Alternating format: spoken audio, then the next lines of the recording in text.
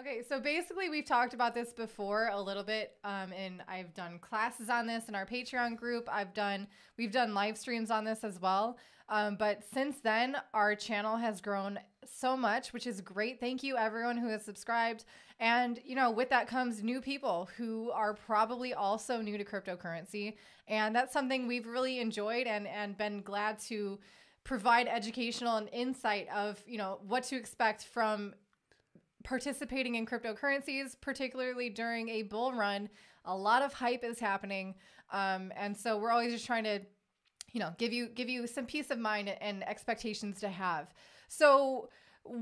Are you ready for the end of the bull run? Do you have an exit strategy? Do you know your plan of what you're just like in an investment plan period? You know, when are you going to take profits?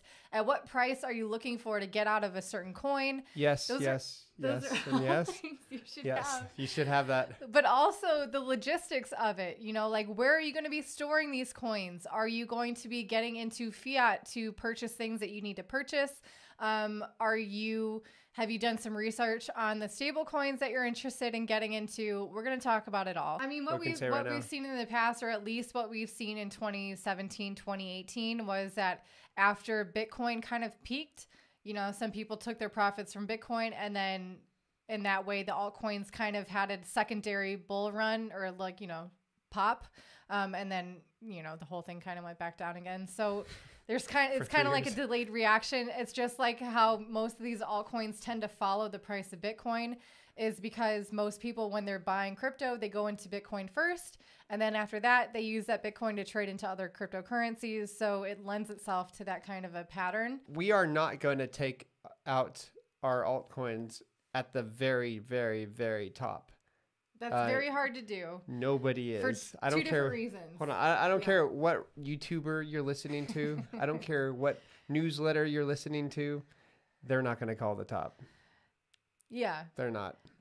I think I think it's hard for two different reasons. Number one, emotionally, uh, when it's going crazy, if you are not a seasoned investor in crypto, if this is your first bull run, I know your mindset is going to be, oh, it's going to keep going. It's going to keep going.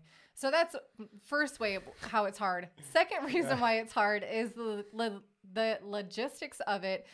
When the prices are extremely volatile, especially with uh, you know during a bull run is these centralized exchanges are notorious for shutting down their servers are overloaded maybe that's why it's happening maybe they're doing insider trading who knows what's happening a lot of conspiracy theories about that but like binance bitfinex Kraken, I'm sure is like they've all. I think I feel like they've all done it at some point. I, I think that once you see that, that's that's a red flag. That's the canary in the coal mine kind of just popping dead you know so that's when you might want to just, eh, chill out a little bit i mean we will have it a little bit on the way up you'll have exchanges just being overloaded you know especially with huge pumps or whatever but, but especially when it's dropping yeah yeah you're like especially when it's like on the near the top of the market i mean mm. you're gonna see a lot of exchanges going to poop.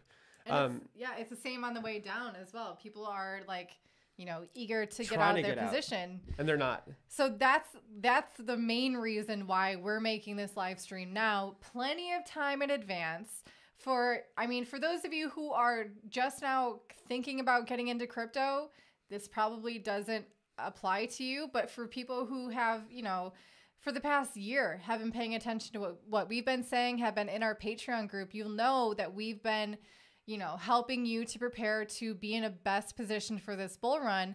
And, you know, it, they come in cycles, they don't necessarily last forever. So the other side of that is preparing for exiting.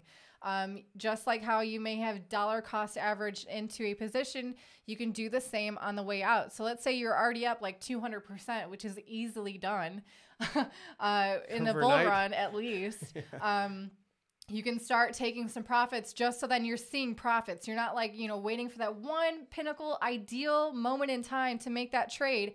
The chances of that happening are actually pretty quite slim. So being conservative, having a good head on your shoulders, uh, I think I think helps with your state of mind as well. Um, but um, as far as like what we are going to be selling, we're definitely going to keep our ETH, uh, our, uh, sorry, our Bitcoin, and mm-hmm. we will probably keep about half our ETH. But hey, guys, like that can change anytime. I'm always reevaluating the entire space.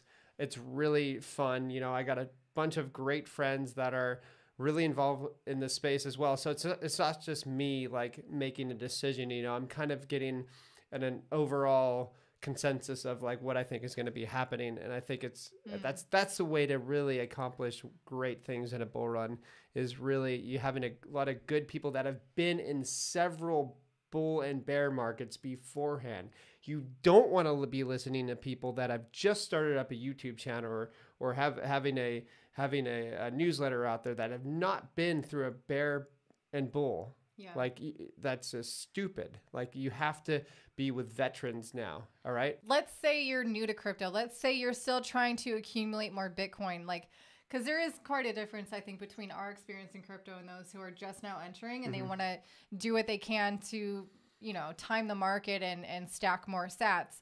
So even if that's your situation, I would recommend because typically, if you look at the charts of for Bitcoin, at least through the past three bull runs, uh, what happens is, or at least the, the past two, let's say 2014 and 2017, is that it peaks and then it drops and then it goes up a bit and then it really drops. Mm-hmm. So timing that dip could also be obviously hard if you're new in crypto, but I would recommend and what we're going to do, maybe not with Bitcoin, but with our altcoins, is we are going to take those profits, put it into a stable coin, and then wait because there it does happen in cycles with these crypto uh, markets. It's like a three year cycle, right? So it's like a one year bull market, a one year bear market, maybe not one year, uh, but then then it's like an accumulation phase, and in that accumulation phase is when you want to use that dry powder that you saved from the past bull run to accumulate your positions into Bitcoin at a much cheaper price, even than probably that first initial dip will will be after that uh, peak, because usually again it dips, it kind of goes up, and then goes back down again. And now we're, we're really blessed with the opportunity to go ahead and put our our stable coins into uh, interest bearing accounts, pretty much like.